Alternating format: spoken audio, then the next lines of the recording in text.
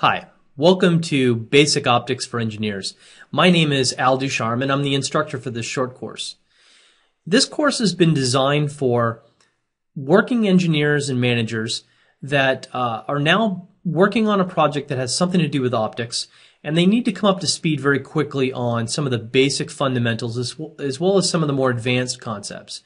So the course is broken into eight modules, beginning with the very basic introduction to light, and then going into lasers and detectors and uh, more complex systems. So we're going to start at the very beginning.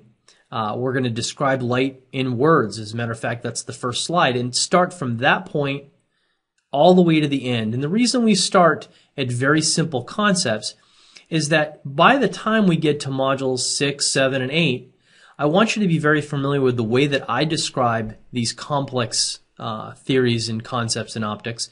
SPIE online courses offer the same expert instructors and high quality content SPIE is known for in a convenient online format. Each course is organized into modules that include learning objectives, an instructional video, and a quiz to test comprehension.